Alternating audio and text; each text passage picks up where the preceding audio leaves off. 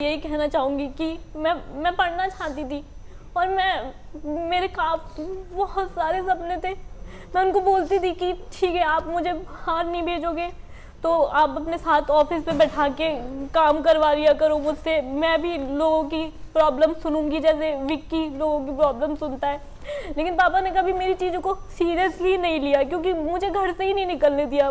और अब mass communication मुझे कराया तो वो भी इतना अजीब कॉलेज था कि जहाँ पर मोबाइल फ़ोन अलाउ नहीं था और मतलब बहुत ज़्यादा बाउंडेशन थी।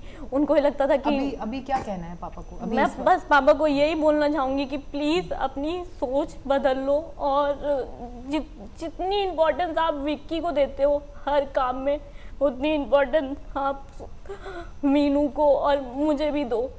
ऐसा नहीं, मैं ये कदम कभी नहीं उठाती, लेकिन आपको तो पता भी नहीं होता था कि आप चले जाते थे ऑफ़िस आपको पता भी नहीं होता था कि विक्की मुझसे क्या क्या बोलता था। मम्मी मुझसे कितना गलत बोलती थी, मारते थे। वो लोग मुझे तो आपने तो कभी ऐसा कुछ रखा ही नहीं कि हम ये सब बता पाए आपको। तो बस मैं यही बोलूँगी कि आपके माइंड में अगर ये चीज़ है कि लड़की के कुछ करने से ही इज़्ज़त जाती है तो आप गलत सोचते हो। अगर लड़का भी कुछ गलत करेगा तो उसके उससे भी इज़्ज़त जाएगी। और ऐसा नहीं है कि विक्की के बारे में लोग नहीं जानते। सब जानते हैं कि वो क्या है और क्या नहीं। बस मैं इतना ही बोलना चाहूँगी कि अपनी सोच बदल लो। अगर आप एक एमएलए हो और मतलब बाहर की दुनिया को आप ये दिखाते हो कि आप बहुत मॉडल फैमिली से बिलोंग करते हो तो हमारे लिए भी अपनी आपके सोच पिताजी जो है वो हमारे साथ फ़ोन लाइन पर है। राजेश मिश्रा जी। ओके राजेश जी? राजेश जी आप सुन सकते हैं। आप आज तक में अभी आपकी बेटी और अजितेश और उनके पिताजी सब मेरे साथ लाइन पर हैं लाइव है हमारे साथ। आप इन लोगों को एक्सेप्ट करते हैं या नहीं करते हैं? क्या कहना चाह रहा है? मेरी आपकी आवाज़ नहीं आ रही है। राजेश मिश्रा जी मैं आज तक के स्टूडियो से निशांत बोल रहा हूँ। आपकी बेटी अजितेश सब इस वक्त हमारे साथ हैं। आप इन लोगों को एक्सेप्ट करते हैं कि नहीं करते हैं? आप इन लोगों को अपनाते हैं या नहीं अपनाते हैं? आपकी आवाज़ नहीं आ रही है। चटखट की आवाज़ आ रही है आपकी आवाज़ राकेश जी। राकेश जी। आवाज़ को सुन नहीं पा रहा हूँ। राकेश जी सुनिए। राजेश। जी सुनिए।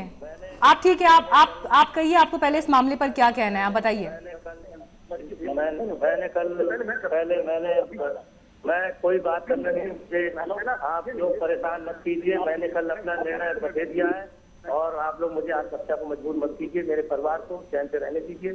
बेटी जहाँ है है अच्छा राजेश जी आपकी बच्ची शीनू। आपसे बात करना चाहती है राजेश जी।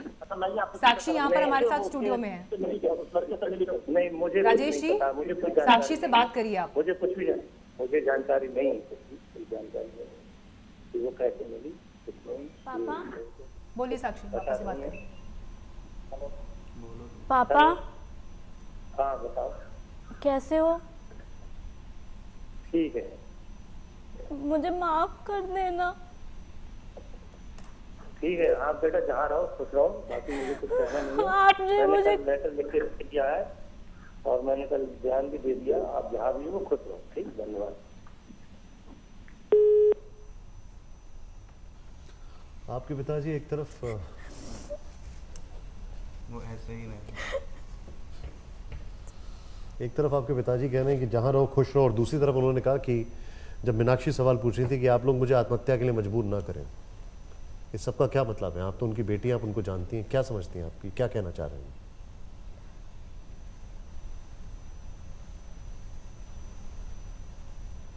साक्षी?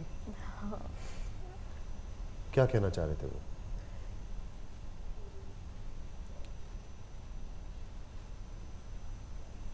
आप ठीक है साक्षी?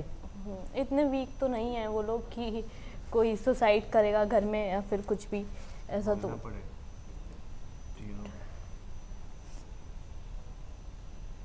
अगर वो मुझे पहले ही समझ जाते तो ऐसा कुछ हर हर चीज़ को हमेशा ना मतलब मतलब हम हर हर चीज़ को उन्होंने गलत तरीके से देखा है हमेशा।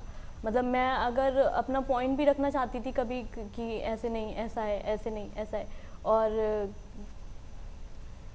इस चीज़ पे उन्होंने मतलब काफ़ी गुस्सा किया था। मैं हॉस्टल में रहती थी, दो साल मैं हॉस्टल में रही और एक साल मैं बाहर रही डे बोर्डर बन गई थी। तो इस चीज़ पे भी भाई पे उन्होंने काफ़ी गुस्सा किया कि डे बोर्डर क्यों बना दिया और ये वो। तो मैं हमेशा अपने भाई को यही बोलती थी कि जितनी बाउंडेशन लगाओगे मेरे ऊपर। उतना ही मैं, जो तुम लोग नहीं चाहोगे, मैं वो काम करूँगी। मुझे तुम लोगों ने वो काम करने सिखा दिए जिन चीज़ों के बारे में मुझे पता ही नहीं होता था।